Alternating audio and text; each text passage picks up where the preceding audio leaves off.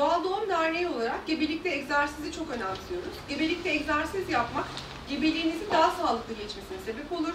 Bebeğinizin kesinlikle daha sağlıklı olmasına sebep olur ve normal doğumunuzu kolaylaştırır. Sezaryen bile olacak olsanız mutlaka gebelikte egzersiz yapın. E, bütün gebelik boyunca yatmayı kesinlikle önermiyoruz. E, hem dernek üyemiz e, hem de spor hocası ve lamez eğitmeni Elif Hanım'la birlikte gebelikteki egzersizin faydalarıyla ilgili ne gibi sporlar yapabileceğinizle ilgili konuşacağız.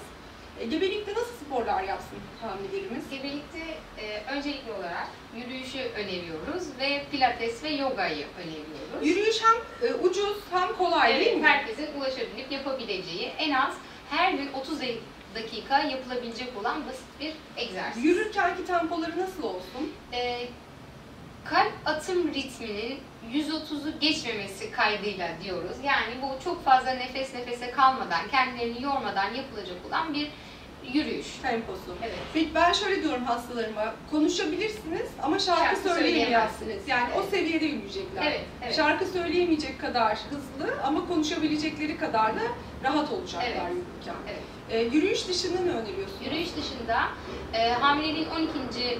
haftasından itibaren düzenli olarak haftada 2 veya 3 gün pilates veya yogayı öneriyoruz. Çünkü e, pilatesle vücudunuzu çok rahat esnetebileceksiniz. Bu sizin e, 40 hafta boyunca yapacağınız bütün e, hareketlerinize yansıyacaktır. Çünkü rahat bir nefes alışınız olacaktır. Postürde bir bozukluk meydana gelecek hamilelik dolayısıyla.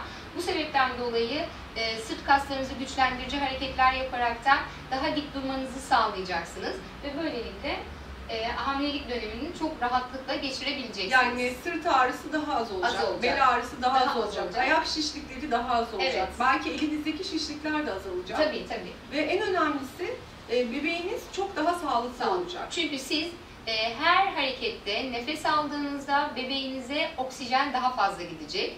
Bu da bebeğinizin daha sağlıklı gelişmesini sağlayacaktır. Ee, yeni yapılan bir Amerikan e, Kadın Doğum dergisinin yayını vardı. Eskiden gebeleri yatmaları söyleniyordu, hiç kalkmamaları söyleniyordu belki. Çünkü riskli gebeliklerde e, hareketle oluşan bazı maddeler var. Mesela hareketin sonucunda e, katekolamin ya da adrenalin gibi hormonlar artıyor ve bu da doğumu tetikliyor diye hep dinlenmesi öneriliyordu. Ama şimdi bakmışlar ki riskli gebe, normal gebe, erken doğum e, tehdidi daha önce yaşamış ve bu gebeliğinde bu tehdit istemediğimiz gebeler hepsine egzersiz öneriliyor. Çünkü egzersizin, e, hareketin bebeğe giden kan akımını arttıracağı, beslenmeliği arttıracağı görülmüş.